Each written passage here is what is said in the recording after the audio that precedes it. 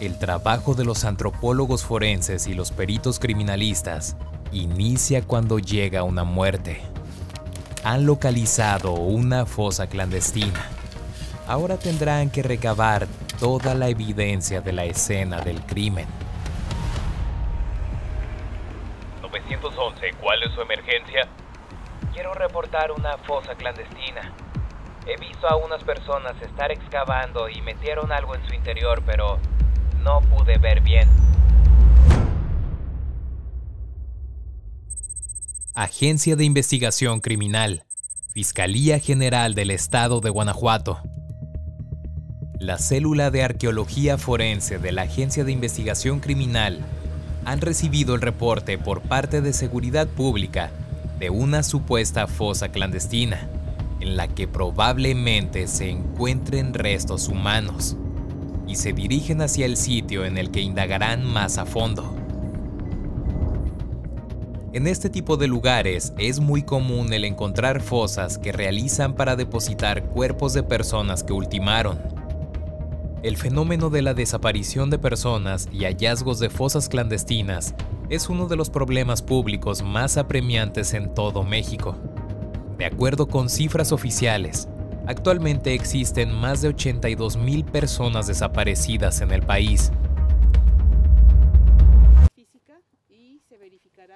Una vez que el equipo arriba al lugar, se comienzan a designar las tareas que cada uno va a realizar. Arman su área de trabajo y configuran el dron que se utilizará más adelante. La intención es generar un grupo multidisciplinario para el trabajo que se hace en, la recuperación de cadáveres y de restos humanos en diferentes eh, condiciones geográficas dentro del Estado.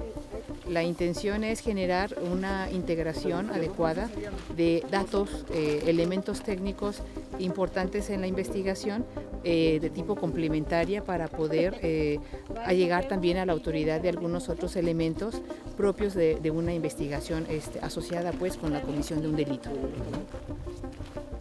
El primer grupo de peritos criminalistas se encargan de documentar el sitio, trazar rutas y asegurar indicios en la superficie que tengan interés criminalístico, como lo pueden ser elementos balísticos, prendas o cualquier objeto que pueda aportar a la investigación. Tendrán que hacer un recorrido tanto visual como físico para observar si existe un movimiento de tierra anormal, el cual pudiera ayudarles a determinar cuál es la zona que tienen que investigar más a detalle. Cada anormalidad que se observa es marcada y documentada por medio de fotografías. La zona se comienza a delimitar los elementos tendrán que sacar todas las medidas posibles para después anotarlo en su informe. También se apoyan de la tecnología y el uso de GPS, que les ayuda a tener las coordenadas exactas del lugar del indicio. Nosotros lo que realizamos es la, la planimetría del lugar, lo que nos enfocamos con la ayuda del GPS son las coordenadas de toda, de toda nuestra área que estamos delimitando. Asimismo nos ayuda a nosotros en este tipo de, de campo abierto dar una coordenada exacta del lugar donde fue encontrado el indicio. La Agencia de Investigación Criminal cuenta con tecnología que permite ahorrar tiempo en la localización de posibles fosas clandestinas utilizan drones que tienen instaladas cámaras con detectores de gases como el metano, una señal que podría significar la presencia de algún cuerpo. El dron con sus cámaras y detectores de gases es elevado. Desde las alturas estará detectando la presencia de gases y temperaturas que pudieran variar. La experiencia de los peritos ayuda a descartar cualquier otro gas que no sea propiamente de algún cuerpo. Los colores más violetas, azules, verdes me indican que es una temperatura más fría. En cuanto al amarillo y lo rojo, se ve que hay calor. Este, aquí puede ser por el mismo que la tierra me está reflejando el calor del sol.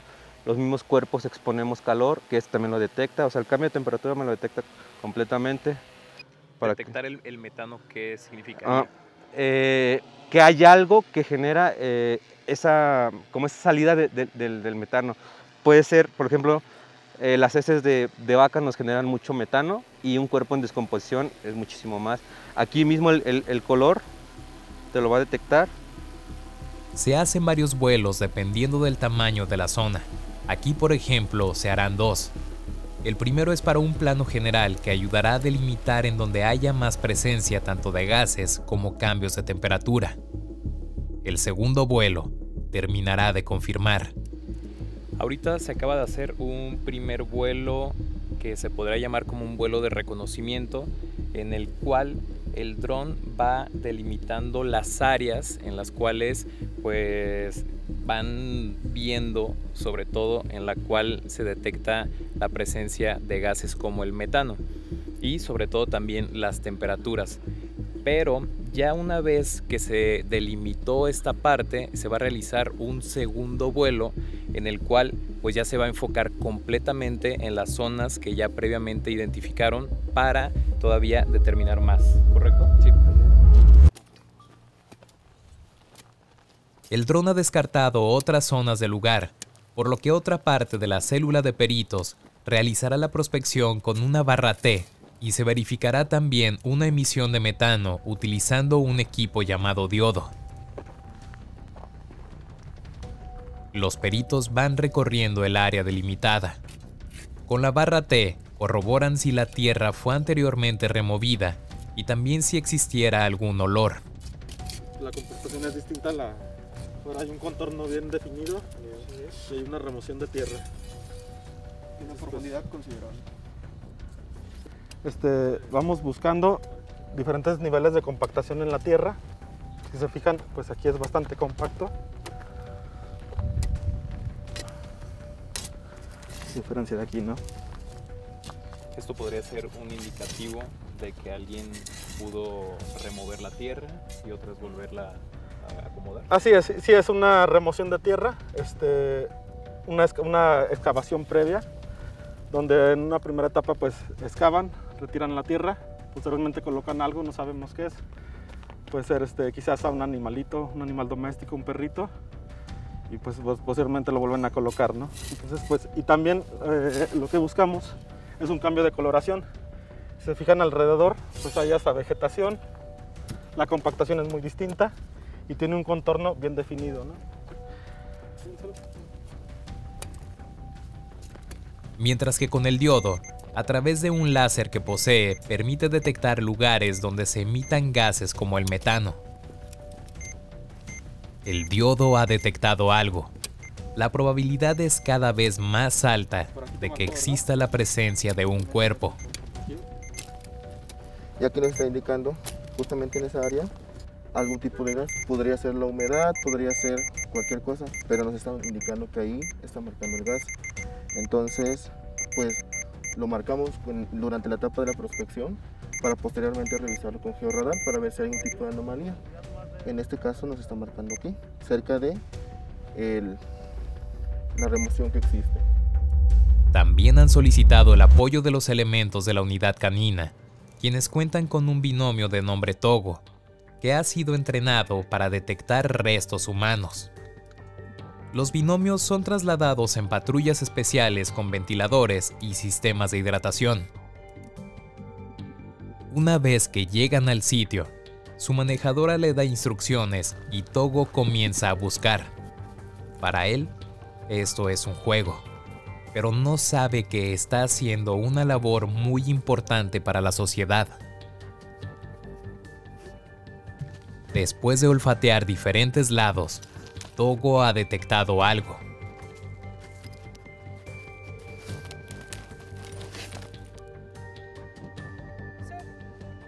Vuelve a rascar la tierra y olfatear nuevamente. Es la señal de que hay restos humanos. Voltea a ver a su manejadora y le confirma. Pues regularmente llegamos a las zonas a inspeccionar, posterior al equipo de, antropología y ellos hacen el, barrido y entonces ellos van picando para que el perro lo, perciba más, el olor. Entramos nosotros y el perro ya realiza la búsqueda de acuerdo a los cambios que él pudiera dar, porque por decir, a él le llamaba la atención por el aire que venía hacia acá. Y entonces para el perro fue más beneficioso inspeccionar así y seguir la corriente de aire. Y ya una vez que llegó aquí en este punto, fue cuando empezó a olfatear ya un poco más, más este, en un lugar más determinado. Exacto. Y empieza a rascar. Sí, esa es la forma en que él dice, aquí hay algo. Él empieza a rascar y te voltea a ver para esperar el pago. Entonces aquí ya en este momento ya se terminaría como de corroborar de que efectivamente este es el punto que, que podría haber algo. Sí, y ya después llegan los compañeros y hacen la excavación o pueden meter otros aparatos para, para ver si en realidad hay uno.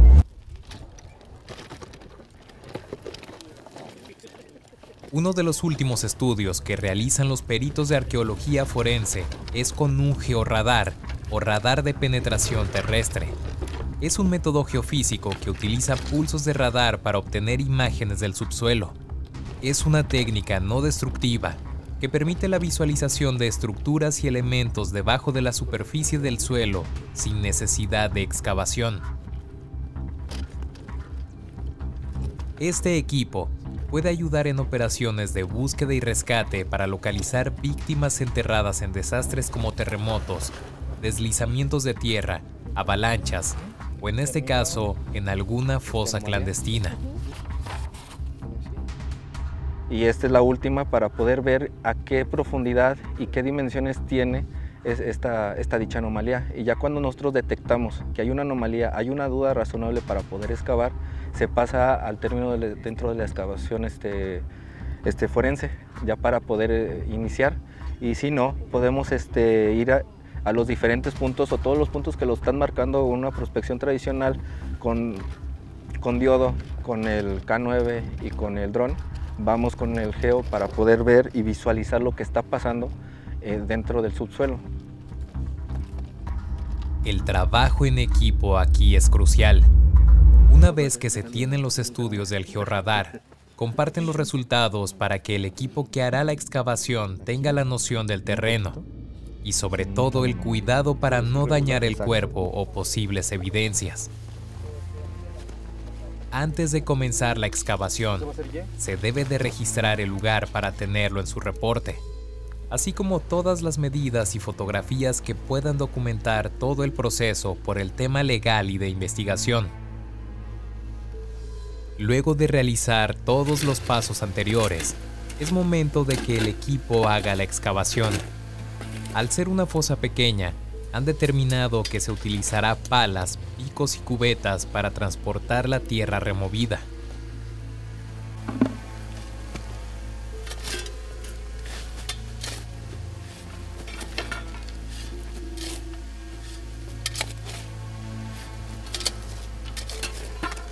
Uno de los peritos parece haber encontrado algo. Son los primeros restos. Así que tendrán que fijar la escena. Utilizan algunas cintas métricas para poder demostrar el tamaño real de la evidencia, así como la posición en la que fue encontrada, misma que quedará marcada con un número de evidencia.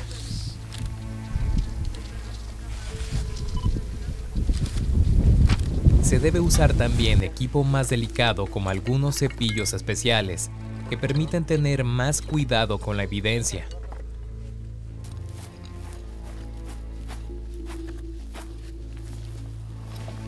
El perito ha localizado algo.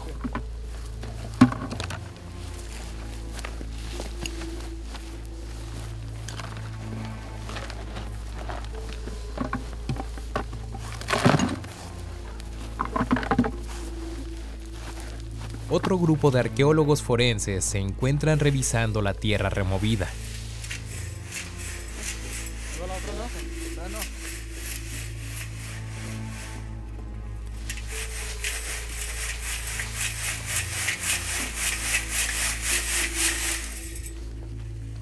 Donde también han encontrado elementos balísticos. Estos casquillos percutidos son importantes al momento de la investigación, ya que en ellos quedan plasmadas características particulares que pueden ayudar a identificar el arma percutora.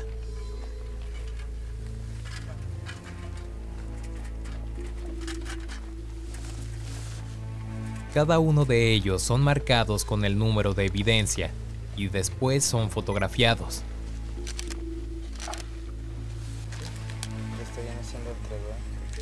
Posteriormente, serán embalados para ser enviados al laboratorio de balística con el que cuenta la Agencia de Investigación Criminal.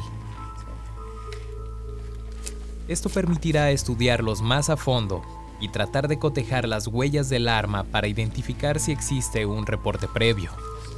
Cuando encontramos un indicio, en este caso vienen siendo elementos balísticos tipo casquillos, lo que tratamos es de que cada indicio que se localiza salga del lugar individualizado y respectivamente este, embalado.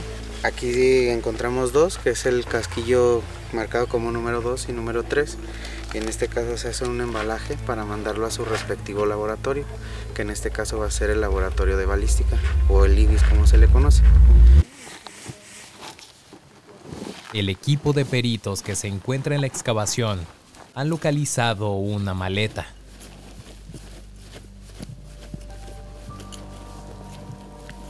Antes de sacar la maleta, deben de tomar medidas como con los otros indicios que se han ido recabando.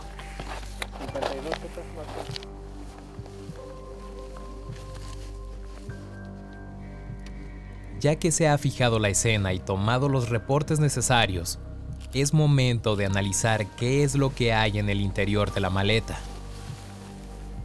Primero llevarán los restos de hueso y carne que fueron encontrados. Probablemente sean algunas costillas humanas.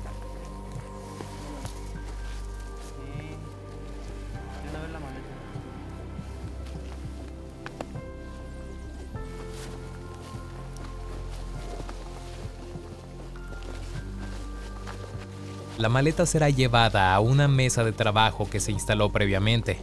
Se tomarán otras fotografías para tener diferentes ángulos y aspectos.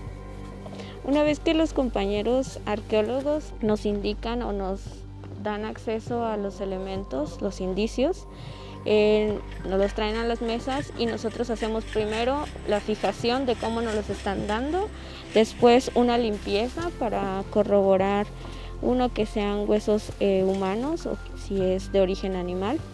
Y también pues para ver algunas características las que podamos como algunos cortes o fracturas en este caso. Y también identificar qué tipo de hueso es. En este caso son fragmentos de arcos costales.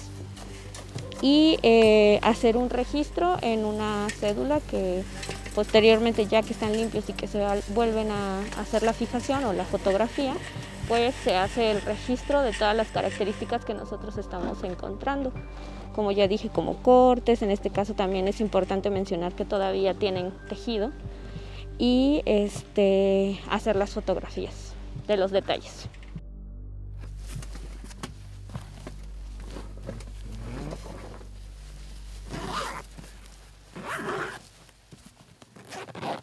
La maleta es abierta para revisar su interior. En una de sus bolsas es localizado un dispositivo electrónico, el cual tendrá que ser fijado y enumerado. El dispositivo encontrado será también embalado para ser enviado al laboratorio correspondiente. Al seguir abriendo la maleta, son encontradas unas bolsas negras. El olor se comienza a sentir en el ambiente.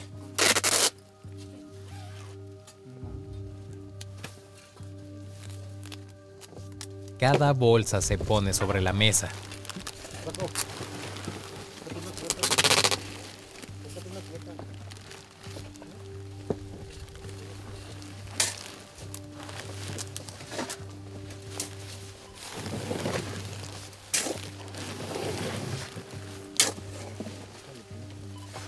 Cada paso, se debe de tomar la respectiva evidencia de fotografías y medidas.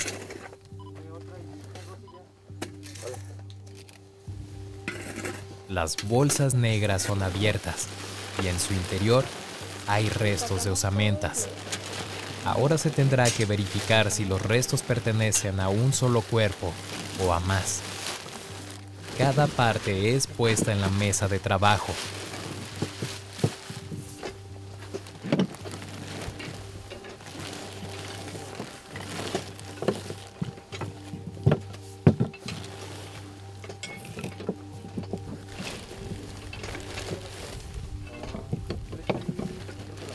Además de los restos óseos, también se han encontrado prendas de vestir. El cráneo se observa tapado, señal que podría indicar una posible tortura y ejecución. Pero eso solo lo podrán determinar una vez que se hayan hecho los estudios correspondientes.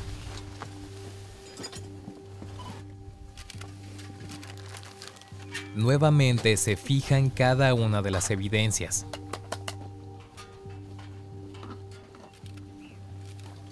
Los antropólogos forenses se encargarán de armar el esqueleto encontrado. Con su expertise podrán determinar si es perteneciente a un solo cuerpo, así como también verificar si faltara alguna parte del mismo. Sí, lo que vamos a hacer ahorita es proceder a, a poner en posición anatómica los elementos óseos para ver si nos hacen falta algunos otros elementos. Y este, en este momento se está empezando por lateralizar, derecho, izquierdo, este, los huesos superiores, inferiores, extremidades. Entonces es lo que se va a comenzar a hacer y ver como alguna característica individualizante también que nos pueda ayudar al proceso de identificación. Ya que han sido agrupados los restos óseos, se realiza un inventario y registro sobre las alteraciones tafonómicas. Se van tomando las fotografías y por último, se embalan los restos óseos por grupo. Esto permitirá que el laboratorio correspondiente pueda realizar un análisis de manera más rápida. Ya teniendo todo organizado, se ingresa a una bolsa especial en la que será trasladado. La investigación continuará en diferentes laboratorios, en el que determinarán las causas probables de muerte y tratar de identificar la identidad de la persona. Respecto a la fosa, es nuevamente rellenada con la tierra, dejando algunas tiras que para los peritos son señas de que ya fueron analizadas. Este caso se trató de una simulación de una fosa clandestina es una de las actividades que se tienen constantemente para la capacitación de los antropólogos forenses, así como el entrenamiento de los binomios para poder detectar la presencia de restos humanos. La Fiscalía General del Estado de Guanajuato cuenta con múltiples certificaciones en estándares internacionales de calidad y científicos dentro del rubro de investigación criminal, lo que lleva a la institución a dar resultados contundentes en tiempo récord. En el próximo episodio, cuando una persona es localizada sin vida y no hay forma de identificarla, la Unidad de Investigación de Personas Fallecidas de la Agencia de Investigación Criminal de la Fiscalía de Guanajuato debe realizar estudios de ADN, huellas dactilares reconocimiento fotográfico o análisis de información para poder identificar de quién es el cuerpo.